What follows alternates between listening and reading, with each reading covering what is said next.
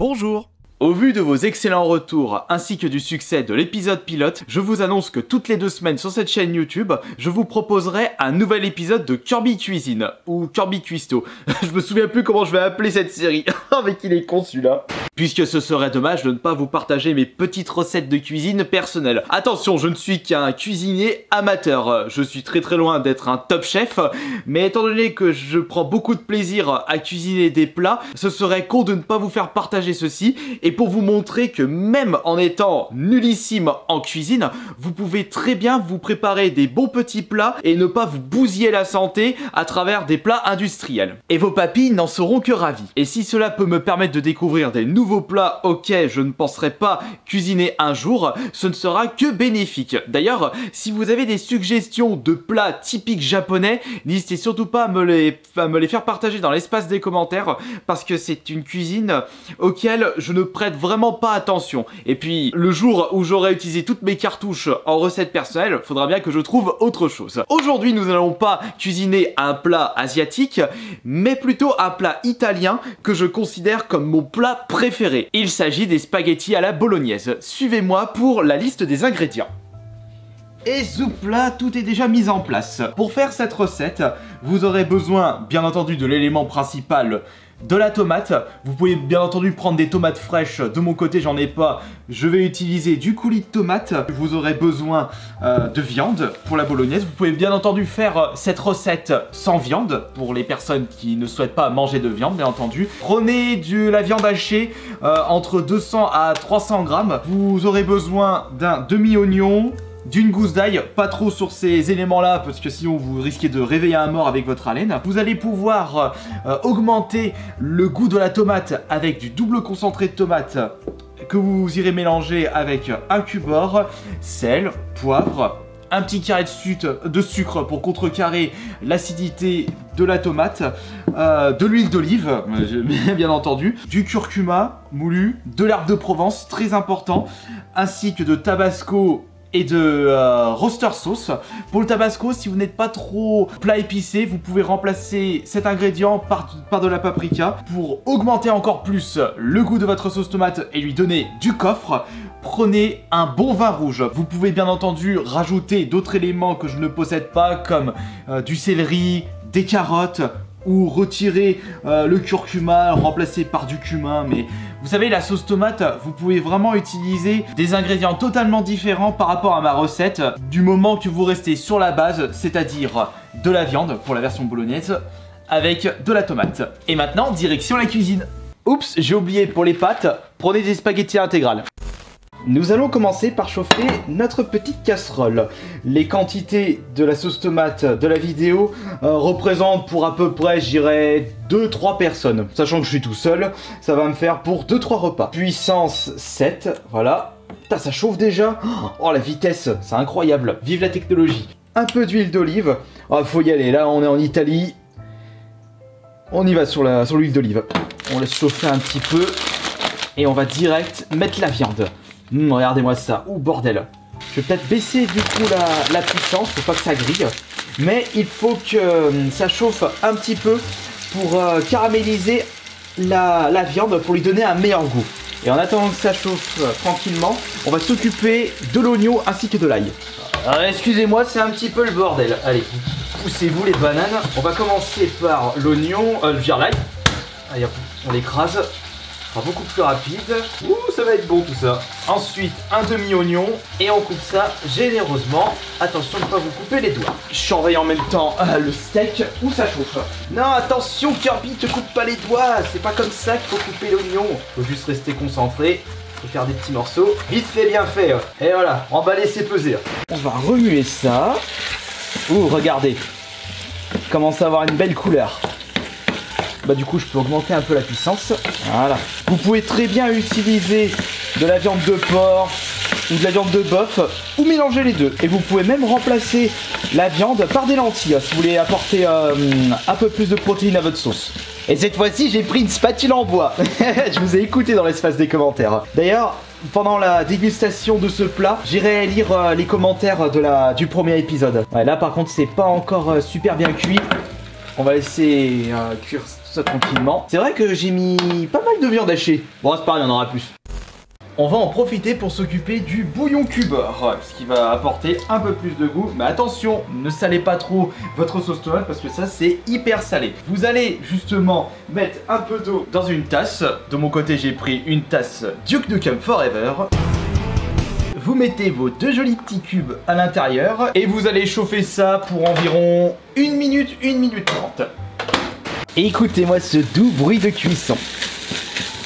Voilà, on va pouvoir rajouter l'ail et le demi-oignon.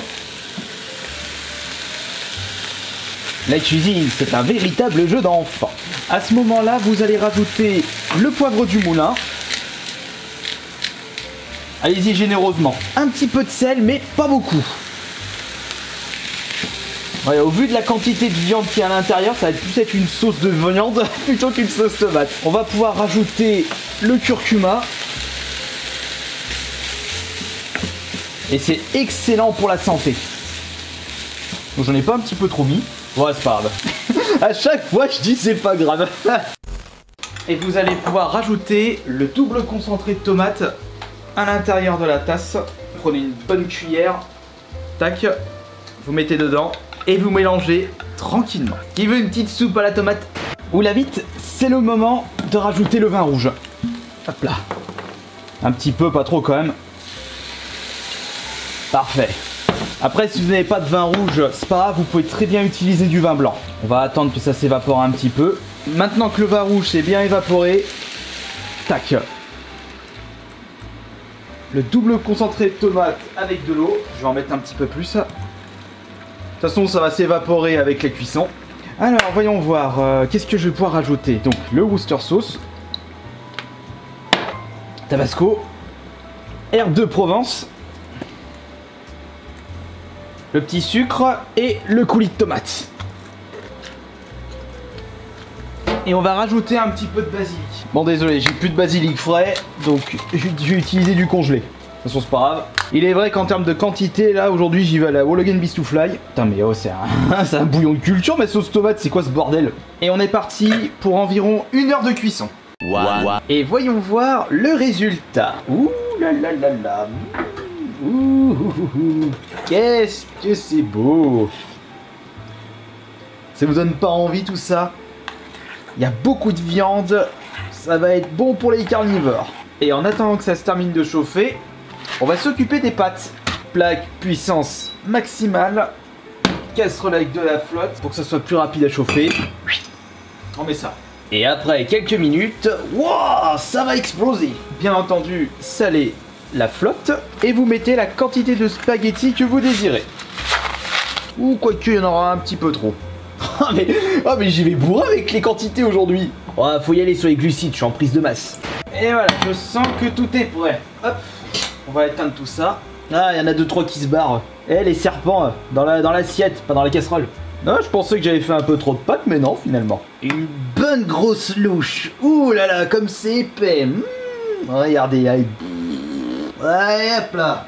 Je vous rappelle que ma sauce n'est pas la meilleure du monde, mais tant que ça, hum, ça satisfait mes papilles, c'est le principal.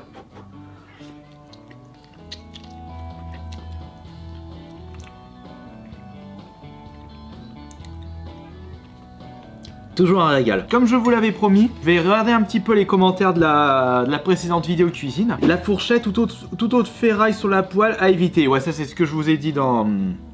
Euh, durant la recette, mieux vaut utiliser une spatule en bois. Ça a l'air d'être un délice, ah bah, j'espère que, que t'as pu le faire, Laz. Je m'y attendais pas. Ouais, c'est juste que j'ai euh, faut, faut proposer un petit peu d'originalité sur la chaîne YouTube. Firefight, super vidéo, fais la tour au poulet s'il te plaît. Ah bah, dans deux semaines, ce sera la prochaine recette. Très bonne vidéo, on voit que tu aimes ce que tu fais, c'est pour ça qu'on se sent très intéressé par ce que tu fais. De la part de Radiateur Bleu. Bah merci à toi. Je pensais que j'avais foiré ma sauce, mais finalement, non, elle est super bonne. Yona, comment ça Tu es tout seul, elle est pas là, Rumi? Non. Alors oui, c'est vrai que euh, je le dis souvent, enfin on me pose souvent la question dans les, dans les commentaires ou dans mes live Twitch. Je vous rappelle que ça fait là, ça va faire 6 euh, mois qu'on est, qu'on est plus ensemble et 6 mois que je suis tout seul chez moi. Faut relativiser. Tu ne sais pas d'air la cuisine. J'ai rien compris à ton commentaire. Naruto One Piece, il a l'air hyper bon, j'ai hâte que tu fais d'autres vidéos de cuisine, Kirby. j'en ai, l'eau à la bouche. Ah, c'est le but aussi. Faut dire que je suis fan des vidéos de cuisine et de ceux qui dégustent des bons petits plats. C'est pour cela que euh, autant vous, vous, partagez euh, ce genre de vidéos sur ma chaîne YouTube. Morgan Wicard, l'huile d'olive n'est pas une huile de cuisson, elle devient toxique à 70 degrés. Bah pourtant dans toutes les vidéos de, de recettes de sauce tomate que j'ai pu voir dans, sur YouTube et de la part de très grands chefs cuisiniers comme nous avec euh, Gordon Ramsay, ils utilisent tous de l'huile d'olive. J'aime beaucoup ce format, ça change de fou. Ouais, mais il ne faut pas oublier que ma chaîne YouTube à la base, c'est du jeu vidéo. Mais je peux me permettre quelques petites hum, exceptions, comme les vidéos de cuisine. Théo Etienne, c'est la musique de fond. Elle me dit quelque chose, mais je me rappelle plus. C'est la musique de fond du centre commercial de Dead Rising 1. Et celui que vous avez entendu, c'est l'une des musiques de Dead Rising 2. The Kirby 78. Je sais pas pourquoi, mais j'étais sûr que quelqu'un allait me sortir ça. Ça manque un peu de pain tout ça. Mais depuis que j'ai commencé la muscu, je fais beaucoup plus gaffe sur ce que je mange. Au lieu de faire ça sur ta chaîne principale, ouvre une autre chaîne pour la cuisine. Non, j'ai pas, malheureusement, j'ai pas le temps. Je peux pas m'occuper euh, de, plusieurs chaînes différentes. Je peux pas être au four et au moulin et au bar le soir.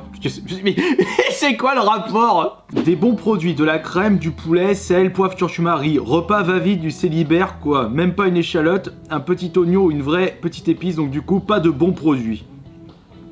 Ah bon? Pour toi, la crème, le poulet de qualité, c'est pas des bons produits? Et même le riz trois couleurs?